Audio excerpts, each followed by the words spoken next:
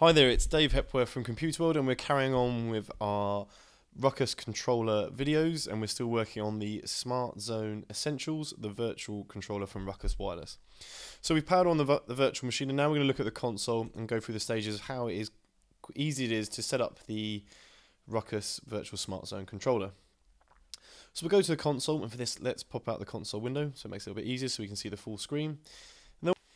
So it takes a few minutes for the Smart Zone Essentials to start loading up. Once it does, we'll go through the setup, and once we've got the setup, it will actually make it so we've got an IP address for the controller, and then we can set it up to use the web interface. So we start off, and it's literally going to be those standard passwords that you'll see on the Ruckus documentation. Log into the virtual smart zone. We use the standard admin and login and password that's with the documentation.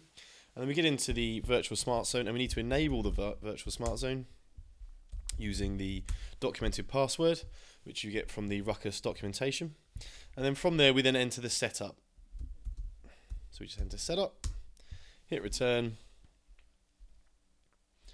and then we will go through the process of giving the virtual smart zone an IP address and then going on to the web interface. So the virtual smart zone profile, we talked about earlier before, we can either go essential as a high scale, so we'll just go number, select number one and go essential. So when you select the profile, you do get the kind of standard error, uh, warning message, which will just ask you if you. So we're going to go IPv4 only. Select one, and then we're going to obviously disable IPv6, and then we'll go through the process where we can use DHCP, but in this example, we're going to be using a manual uh, IP address. So we enter our manual IP address for our demo environment here at Computer World. and it will ask you to double check. And as we've only had a single NIC on the virtual machine, which we set up in the previous video, you'll notice that for control, cluster, and management, we actually have the single IP address, which is uh, what you can see on your screens is for our demo environment. So you verify that, select yes, and then you can just put in your primary DNS. So with control NAT IP, you can actually just hit return.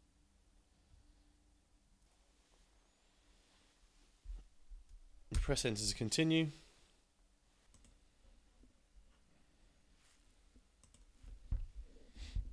Okay, so now we should be able to get to the management interface for the Ruckus controller. So we'll go to the IP address that we set earlier. But this time we'll also make sure that we're on ports 8443. And it's HTTPS. And then we should hit return and then we'll get the error message that there's no certificate on there, which is pretty standard. So we'll just go to advanced. And we'll proceed to that page anyway.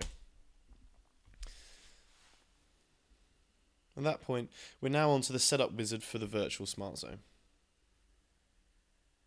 When you first load it, it will take a few minutes just to take the network information that we previously set on the console.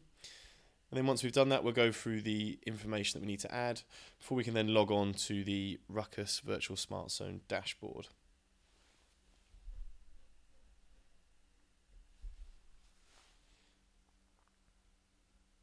Okay, so with the setup wizard for the virtual smart zone, it's instantly going to ask you if you have any cluster information.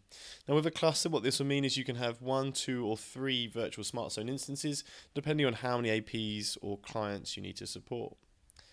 So in this case, we're just going to have in the single virtual instance. So we're just going to say either a new cluster or join an existing cluster. So this is a new cluster.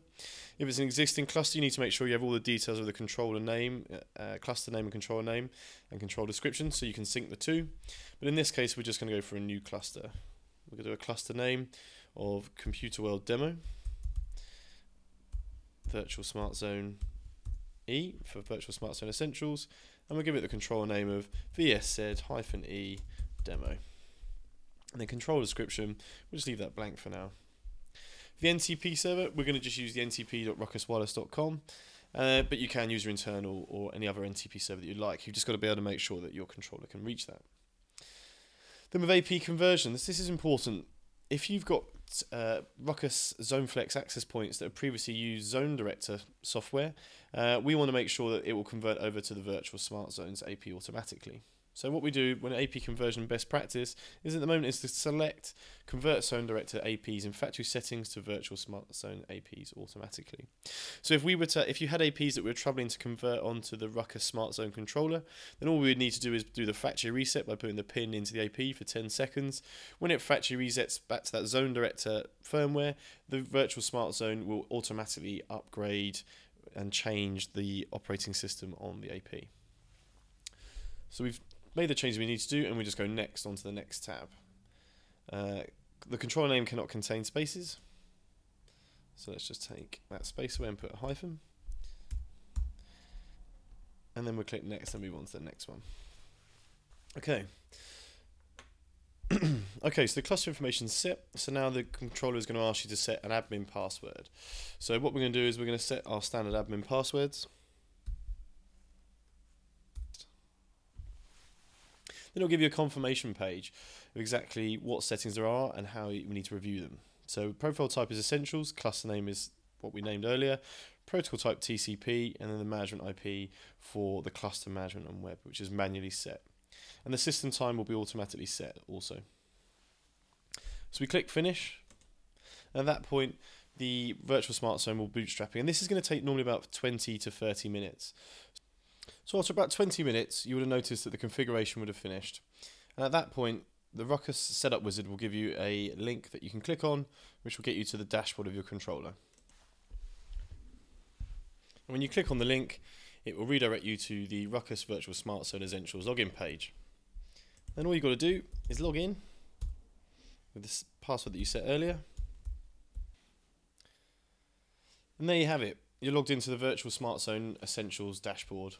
And from here, we can start looking at AP summaries of number of APs connected, client type summaries, traffic summaries, client count summaries, top 10 applications by client count, and we can also look at the wireless network summary. So over the next coming weeks, we'll create a number of videos to show you how to use the most or get the most out of your Ruckus Virtual Smart Zone Essentials controller. And we're going through sections of how to monitor various access points, how to look at the configuration, of your wireless network and WLANs, and also how to look at reporting and the administration of your Ruckus Smart Zone. A really simple controller to deploy, and over the coming weeks, we'll see how easy and accessible it is to manage all of your access points and clients in one central place from a single pane of glass.